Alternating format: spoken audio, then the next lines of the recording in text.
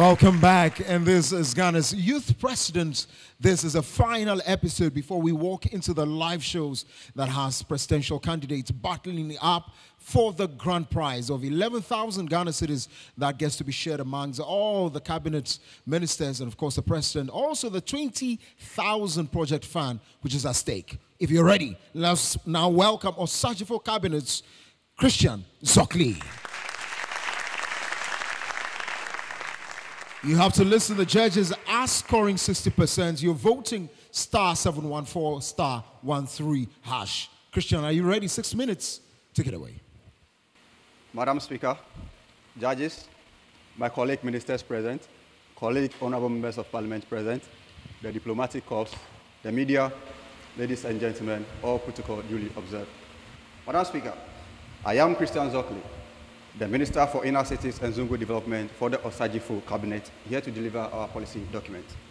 Madam Speaker, it is enshrined in Chapter 6, Section 36, Clause 1 of the Ghana's Constitution that, I quote, the state shall take all necessary action to ensure that the national economy is managed in such a manner as to maximize the rate of economic development and to secure the maximum welfare, freedom, and happiness of every person in Ghana and to provide adequate means of livelihood and sus- sustainable, suitable employment and public assistance to the needy. Unquote. Madam Speaker, this very directive principle of our state policy, unfortunately, has not catered, catered, sorry, catered for our Zongos on realistic basis. Madam Speaker, our Zongos remain the epic center of poverty, illiteracy, unemployment, unsanitary conditions, child marriage, and deleterious beliefs and practices.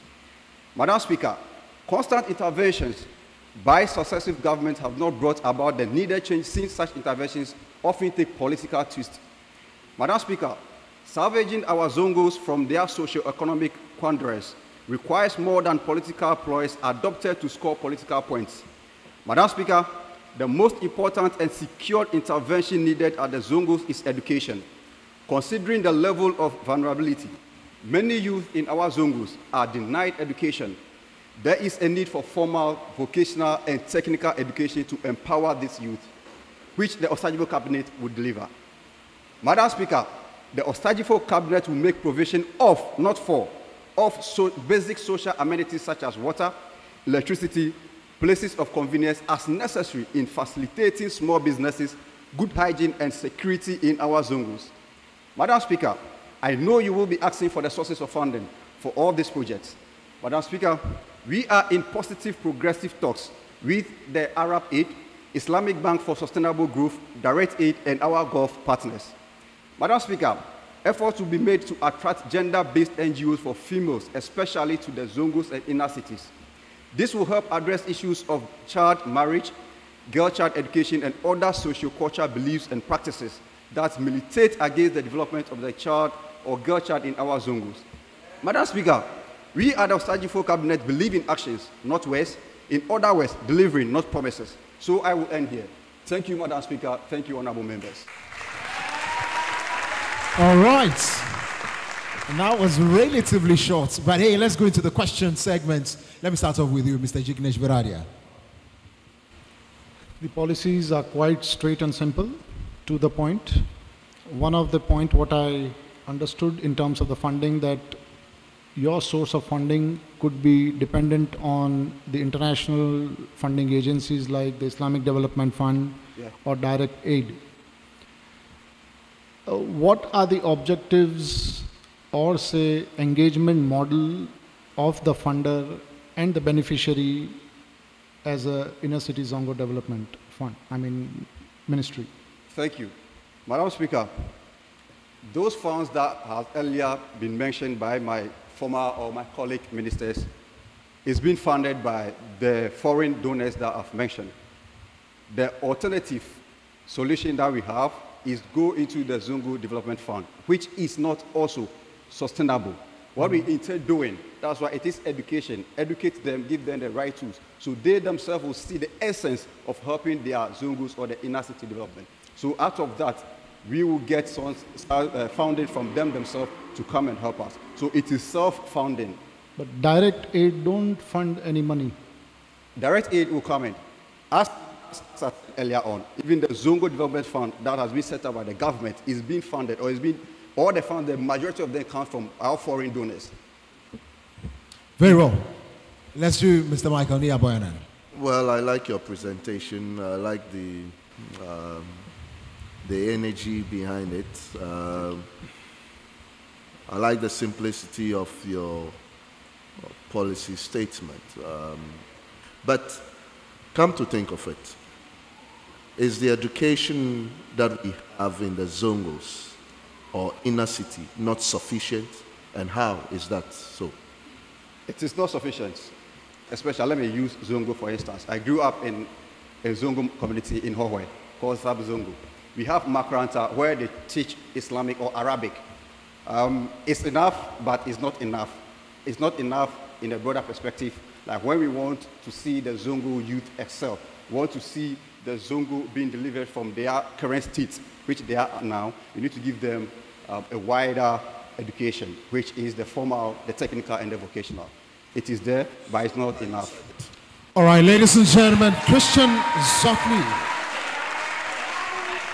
Remember what to do if you want Christian Zokli to accumulate points for the cabinet, Osagyefo cabinet, of course, he himself, you go star 714 star 13 hash is the code to dial and ensure that you vote for Christian Zokli if you want him to accumulate votes.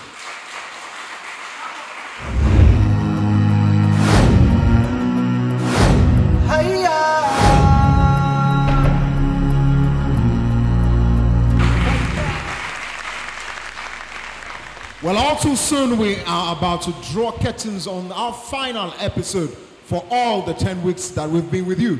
But of course, just as it has been done, I take the comments and views of the judges. Now, if you're ready, I want to start off with Mr. Michael Niyabuanan. You come from one of the places predominantly an inner city. What do you make of the ideas that were sold out here? Would you want to buy them on any day? Well, I think uh, they were over concentrated on the Zongo communities and left the inner cities. Uh, probably the definition of inner city has not really settled well with uh, people. And I think this is what we should look at um, because we can describe the Zongos as inner cities. Um, and therefore, the, the agenda is to bring more vulnerable communities out of where they are now or where we see them now. And it is to do more with the infrastructure and the system that we operate in terms of our communities. And I think that is where the focus should be. But on the main, uh, they all did uh, well, and uh, I will encourage them, their cabinets, they should go back, work more on these things, and come back with brilliant ideas. All right, coming back is, of course, our final show when the president take the center stage now to ensure that we know about the holistic way of approaching anything as far as their cabinets are concerned. Let me now come to Mr. Jignesh Viradia. What do you make of all of these today? The young ministers and the innovative mind have crafted and drafted the policies well. Being a new ministry, the expectation was to the mark, and all have done good. I see. All right, let's now go to Right Honorable Speaker Queen Boresa. Let's have your views. Yes, I, I think uh, honorable ministers did well, but they could have elaborated on the difference between Zongos and inner cities. Probably a brief history of how Zongos even came about would have been lauded. Again, um, health, they say, is wealth, um, and most of the Zongo communities are densely populated. I didn't hear policies to depopulate the communities. Um, I didn't hear um, policies um, to improve the road networks to make way for um, fire service and ambulances in cases of emergencies. And also the minister promising um, Indomie to uh, my Zongo folks. Please also remember or do add kulikuli, masa, wasa wasa, tubani, sobolo your menu. Thank you very much. Thank you very much. A round of applause for all of them. This is to say a very big thank you to the Speaker of Parliament, and of course, our judges, all the guest judges we've had all throughout the weeks. It's been an amazing, amazing journey, and I can't wait, just as you at home cannot wait for the final one. If you want the very interesting things that you've heard to culminate into votes, that's what you need to do. Star 714, star 13 hash. Again, the prizes are at stake. 11,000 Ghana cedis is going for the president and also to all the cabinet ministers that are going to win. 20,000 project fund is also at stake. But we're back. We're back. We're back again on your screens with the live shows where the presidents will battle it out. Presidents from the Gold Coast, from the Yaa Asantewaa cabinets, from Republic cabinets, Democrats, and Osagyefo cabinets. Ladies and gentlemen, this is where we draw curtains down on all of the 10 weeks that we've had. I am truly excited. Remember to follow all our pages on the screen right now. Go there, watch our videos. That would help you to vote for whoever your favorite is. If you're ready, we're taking the break finally to wait for the live shows. My name is Kokulumor. I'm truly excited that you can join us. This is how we say bye bye. We'll see you soon.